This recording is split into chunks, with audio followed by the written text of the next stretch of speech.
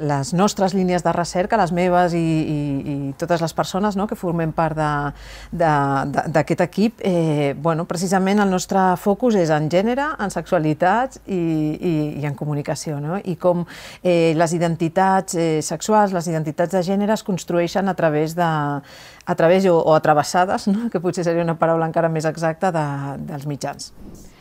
Bé, les nostres recerques sempre s'enfoquen molt a la transformació social i també perquè creiem que els temes que, que investiguem han de tenir un retorn i fer que la, que la vida de les persones eh, millori no? I, que, i que puguin transformar les desigualtats i les barreres a les quals s'enfronten. Aleshores, jo crec que en això també i amb l'experiència de, dels anys hem anat també eh, guanyant. No? Guanyant primer perquè les nostres xarxes no, de persones que participen a la recerca cada cop també són més grans i, i, i d'alguna manera s'han s'han consolidat i, i perquè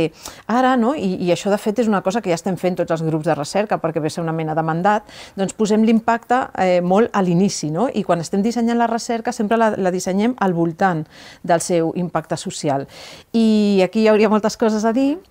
però sí que puc explicar que en aquesta darrera recerca que, que hem tancat, doncs nosaltres hem, hem, hem estat col·laborant amb col·lectius feministes, amb, també amb projectes de comunicació i, i, i també amb persones que estan especialitzades en, en qüestions d'impacte social per fer que tots els resultats de la recerca no quedin en un calaix o no arribin no, a les persones només amb els clàssics articles, no? encara que aquests articles també es diguin articles d'impacte, i que bueno, i això s'ha traslladat en, en, amb vídeos que hem fet circular per les xarxes socials, s'ha traslladat amb guies per persones que, que, que es dediquen a, a formar a joves i, i que poden, no, a través d'aquestes guies, conèixer els resultats del projecte i aplicar-los també en les seves activitats eh, eh, quotidianes per, bueno, per esmentar un parell de coses així més rellevants.